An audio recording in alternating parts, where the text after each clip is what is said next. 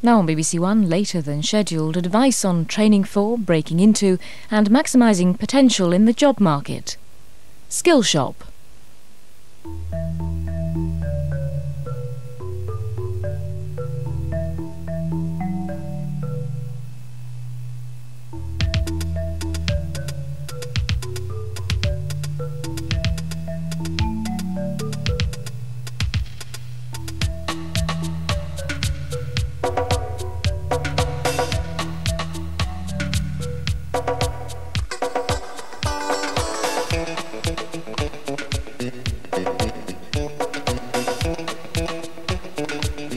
Workers who found management an acquired taste.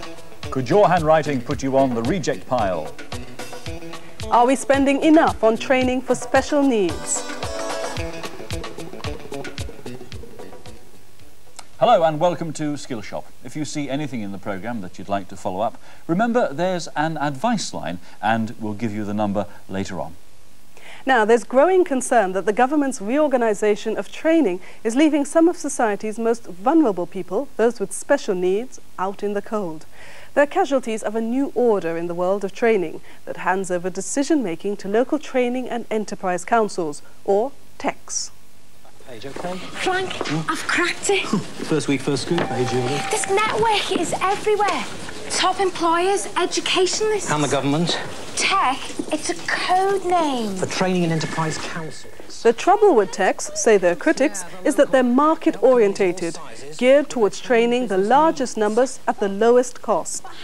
First rule of journalism, read the papers, eh, Julie? The critics say TECs are not as concerned as they should be with people for whatever reason, whether they're disabled or have learning difficulties or they're ex-offenders, need that extra bit of help and support. We went to Yorkshire to check this out. Here's a tale of two cities, Leeds and Wakefield. On the surface, Wakefield looks prosperous, but the money the local TEC offers for training is amongst the lowest in the region. Two centres with 280 trainees have shut this year. Peter and Stephen were both on special needs courses run by NACRO. We were fighting against the closure of NACRO because it would have been one um, training scheme less in Wakefield. So we wrote letters off to MPs and all that, but that didn't work out at all. We felt at the time that NACRO were helping us, uh, uh, you know, uh, get back into employment by uh, helping us to uh, improve our skills, giving us a better chance of employment in the future. I see people who could have been helped, who have not been helped, who are further back in the queue again to try and get themselves into employment and able to earn a reasonable living. 18 students on one scheme were partway through an NVQ course and couldn't complete that course and have a qualification. They missed out on a qualification by virtue of the action taken by the TEC. These people would have been better prepared to get themselves back into employment and to save the state in the region of, I believe it's eight to ten thousand pounds per person. It costs the government a year to keep them on the dole. I was doing a typing course on NACRO to take my RSA one before the TEC closed it down. And I got quite far. I took an exam, Cortex exam, and I passed that with a distinction. But I wasn't due to take it until April, my RSA one, and they closed us down too early, so I wasn't able to take it. I was upset about it because I thought I was doing very well, and the trainer told me I was doing well as well. So I didn't like it at all. Now Graham is back on the dome. The chief executive of Wakefield TEC was unavailable for filming. In a letter, he told Skillshop Nacro's centre was shut because we were not satisfied with the quality of their training. Y Training, the training arm of the YMCA, have also shut. They could not continue, they say, on the funding offered in Wakefield. 120 trainees lost their places, many with special needs. This was my room, uh, and I was the community care instructor. Um, so I was, I was teaching um, basic practical caring skills to enable the young people um, to work in the care profession. The, the young people that, that we had, um, it was a lot of work before they actually went out on placement, but you could see that the potential was there for them to develop in this field of work. Um, and I think it's very sad that young people had actually decided that they wanted to do care as a skill area, um, and, and there isn't the provision for them in the Wakefield area to continue. The trainees here were offered alternative courses, but not always successfully. It was just like rubbish. You know, they didn't have the tutors to train us properly, so we would like doing health and safety, going off for the day, doing nothing. And it had nothing to do with what we were actually training for. Wakefield TEC told Skillshop that Y Training was offered the highest level of funding in Wakefield.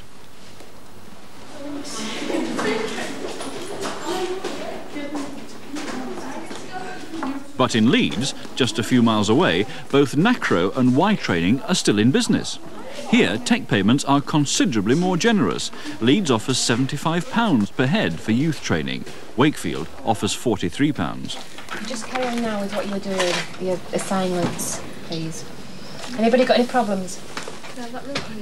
David, do you have a problem? This is Y Training's course in office skills, the sort of thing they used to offer in Wakefield. Trainees with a variety of special needs get extra help and support. And qualifications get broken down into smaller, bite-sized chunks so that they can be attempted a step at a time. Right, Jamie, how are you doing with this? All right. Right. In letters and memos, there are, t- there are things that are common to both a letter you would write to your friend Yeah. and a letter you would write to a company for a job interview, say. So, can you think of any of the things you would use Your in name. both? That's right. Address. That's right. Yeah. Date. Yeah. Dear Sir or Madam. Uh huh. That's very good. Yours sincerely or your Now, if you were writing to your friend, you wouldn't say, "Dear sir" or "Madam," would you? We're looking for understanding employers um, that understands the special needs of the trainee, uh, would give them extra support and help, and wouldn't expect them to live in a high-tech sort of situation and be rushing here, there, and everywhere, and always doing everything so. That they are special needs trainees that need extra help and support.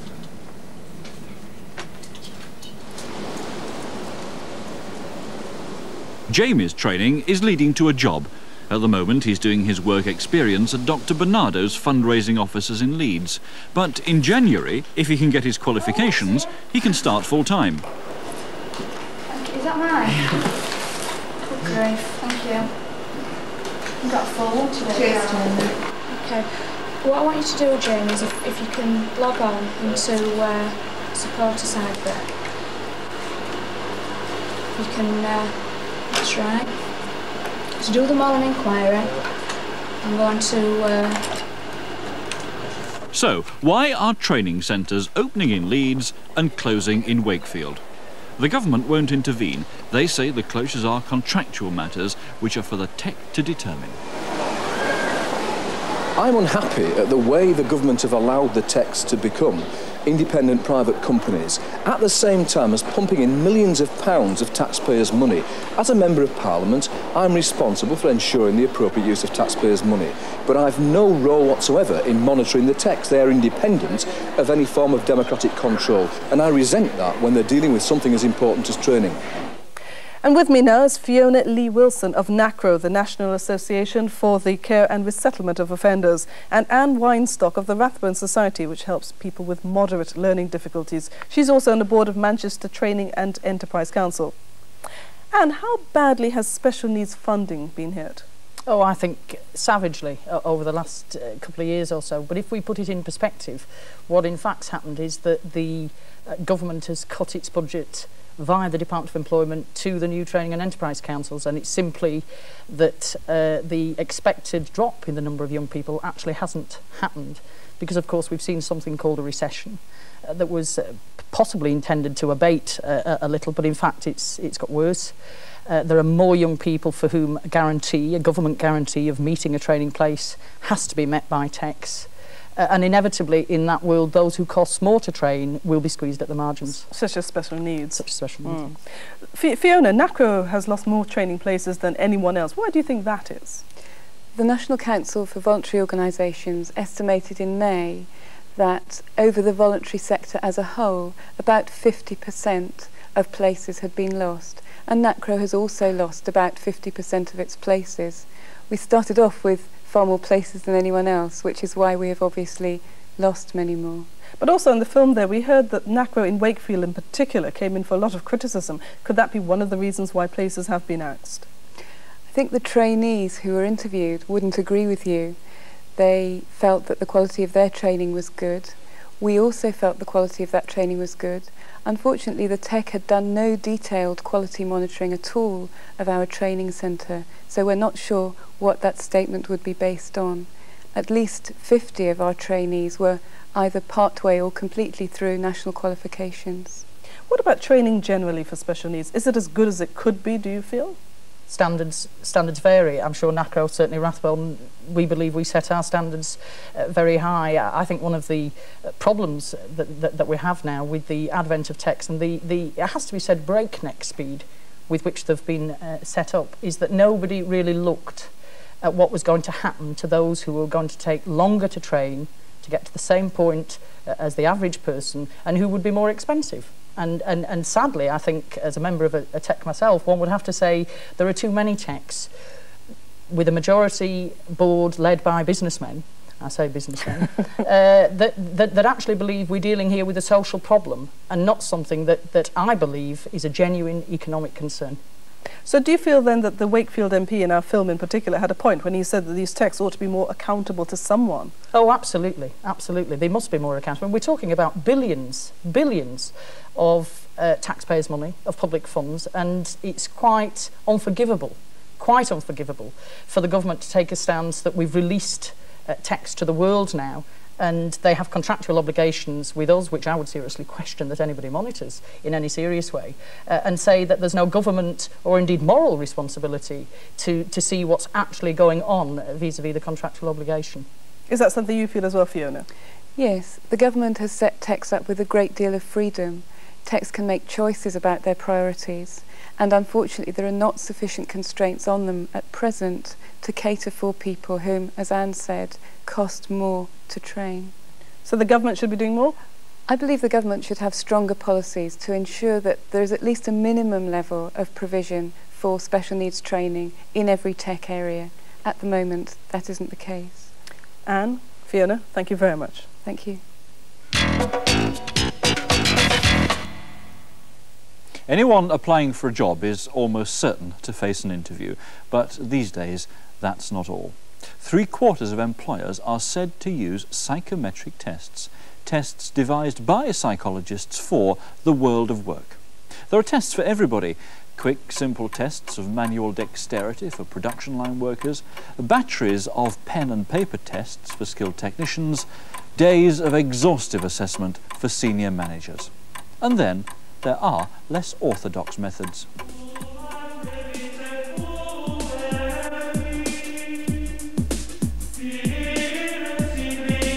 If any major employers are using astrology for recruitment, they're keeping sensibly quiet about it.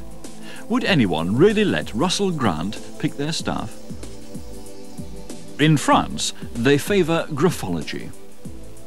Graphologists believe that a signature is as individual as a fingerprint and just as incriminating.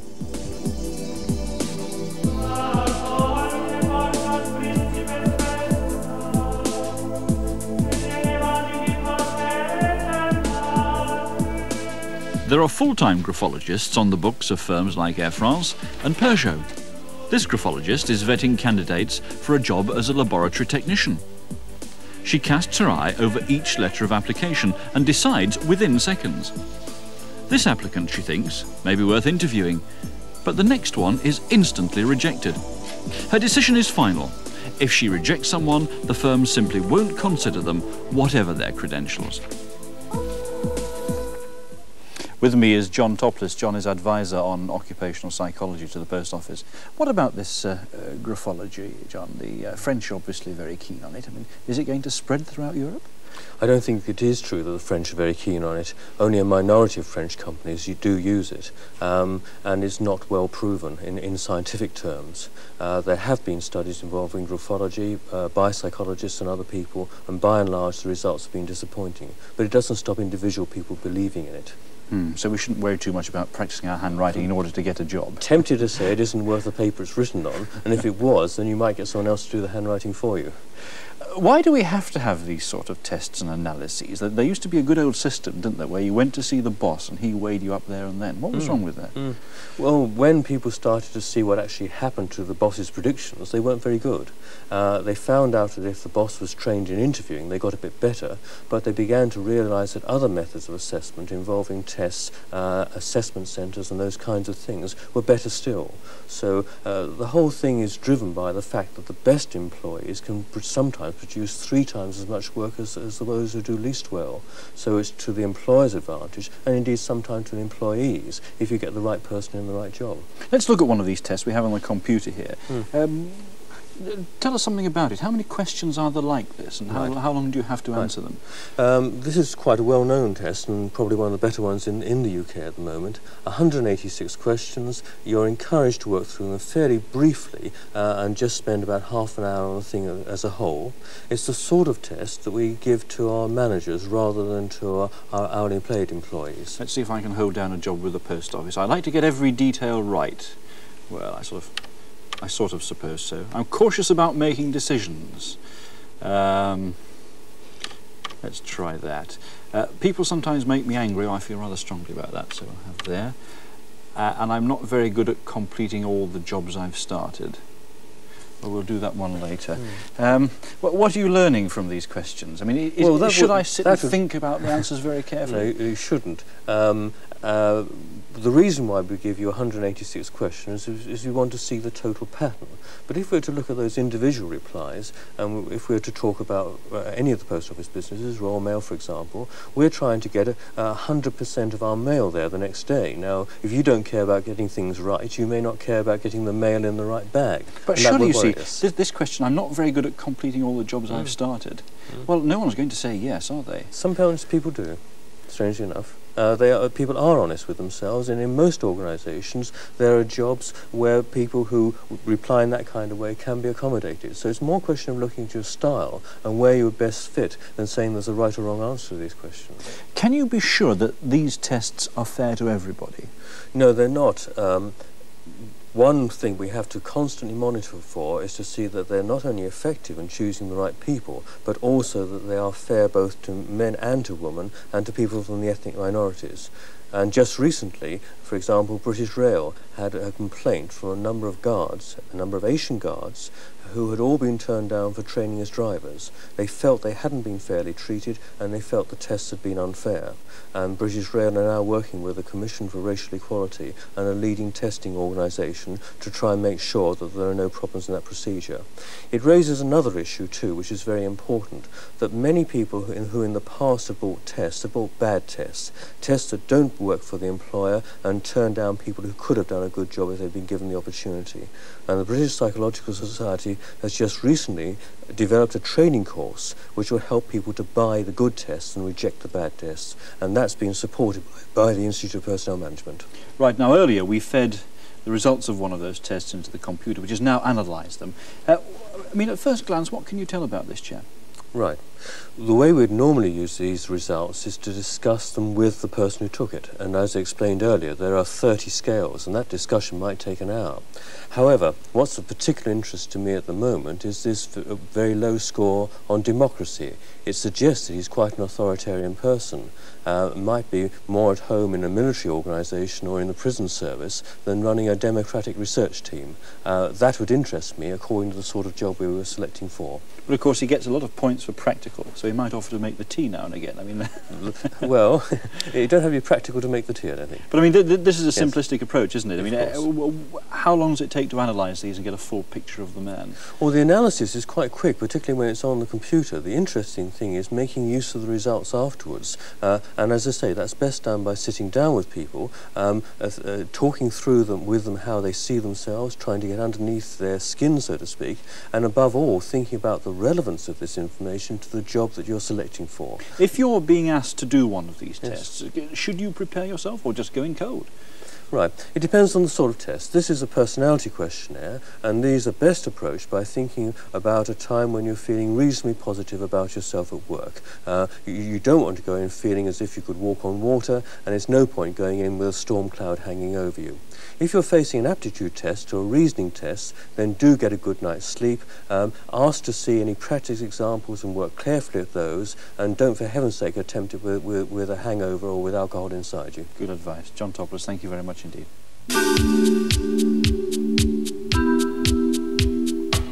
If you've been in a craft or shop floor job for 10 years or so, and the firm offers you a manager's job, what happens next? We find out after the break.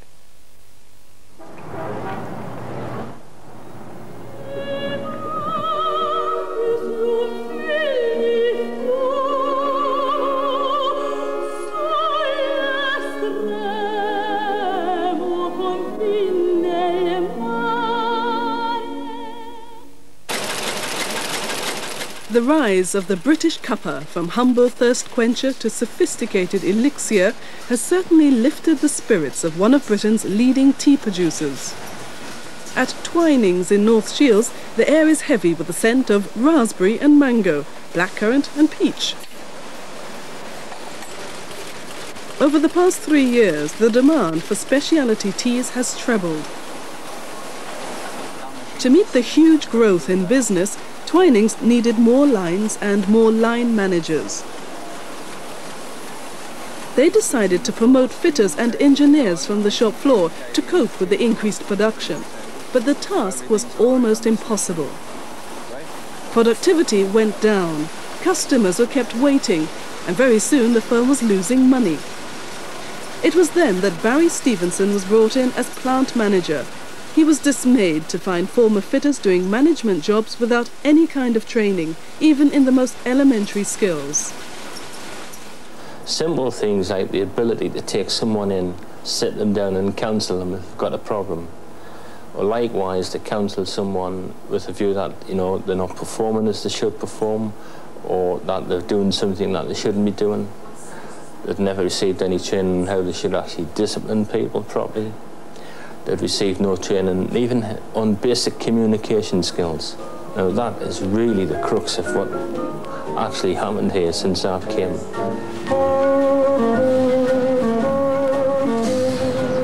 A weekend away is part of a year-long training program Barry has organised for them. We're looking at their body language. The body language tells us a lot, remember.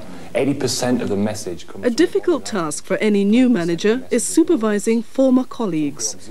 Trainer David Smith uses role play exercises to bring situations to life. Okay. Um, the role play that I'm going to give you to actually act out, there'll be two sides to the role play, a counsellor and a counselee. Okay? And it's basically, the problem is about um, someone who came to you, asked for some time off to go to the doctors. Yeah? And then was you later discovered that the person had actually been to the races. What you're trying to do is get to the bottom of the problem, not so much the discipline thing that he was at the races, but to try and find out why. What is the real problem? Is it lack of motivation or whatever? Well, what would you say if I told you that at the close of work yesterday, I went home and I put the television on. I seen you at the quarter past two race at York. That's right. Um, what happened? Uncle George rang me up.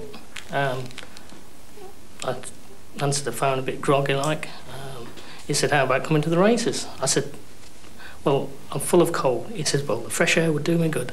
And probably then I would be back to work tomorrow if I got fresh air in my lungs. Yes. Um, do you not feel you've let the team down by doing this? I mean, there wasn't just myself that seen you. You were seen by the factory manager and several of your friends and colleagues off the lane when they went home at two o'clock.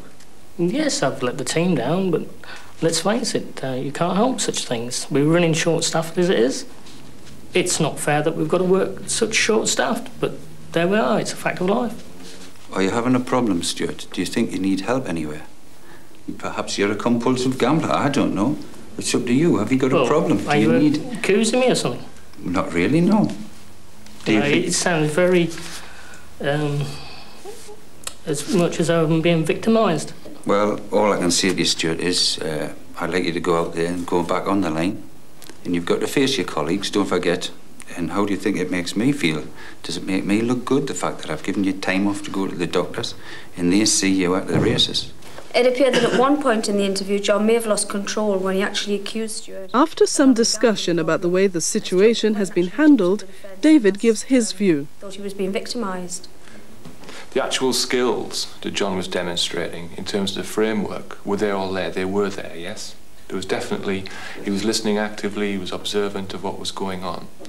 Where I felt that the interview never succeeded was that it, it never got beyond the superficial level. I felt that the real problem there was the attitude, Stuart's attitude to work, to his colleagues. John gave him lots of opportunities and showed him things about how he was letting the team down. But it was never, it never moved into that next phase. And I think, you know, that's where we need to concentrate now on the further training.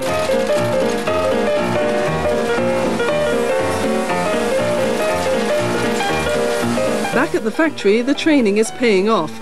Already there's less absenteeism. The factory is cleaner, safer, and more efficient. And profits are up.